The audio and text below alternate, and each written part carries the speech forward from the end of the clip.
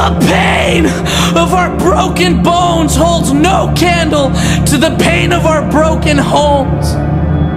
The bothersome, cold, and fatherless homes. Who is to blame but our own?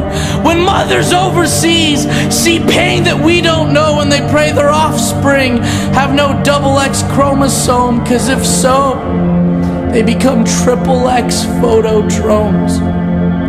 While we spend our time alone on our cellular phones, not connecting with each other's minds, and definitely not connecting with each other's souls.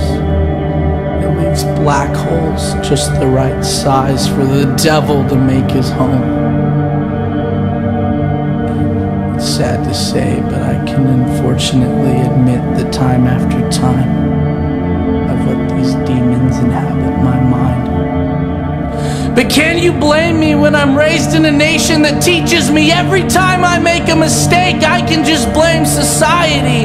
And my United States is a product of history books, not history. And I'm the child of enough stern preaching to believe in things I can't even see. But I'll take it with no reason because I need some sort of clarity and dignity through this changing season. And people say I'm speaking blasphemy and unrighteously. And I'm gonna regret this when really I'm just telling you what I'm afraid of. And they say I'm gonna wish I could eat my words when I meet my Maker. But I've compromised myself so many times that I don't even know what I'm made of. So forgive me. I'm just another broken human trying to live freely.